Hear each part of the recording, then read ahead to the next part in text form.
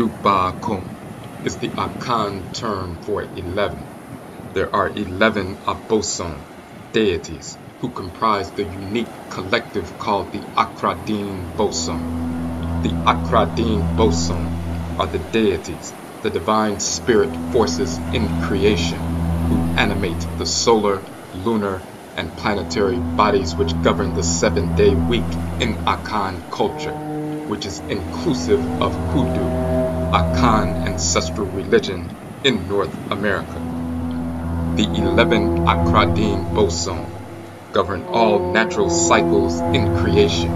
They also govern the 11 major body systems within the Apurakani, Apurakainit, African black individual, and the 11 major body systems manifest through the body of Asase Afua, our fertile earth mother as shrines of the Akradin Bosom, it is critical that Apura Kanu, Apurite Kaitnut, Africans, black people, understand the nature and function of these deities who regulate all aspects of life.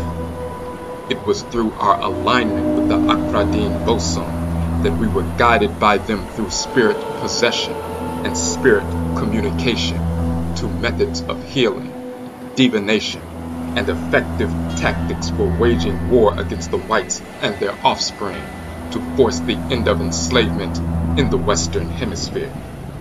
Dubaako Akradin Bosom Training Intensive and Ritual Retreat Our communal institutionalization of Akradin Bosom veneration.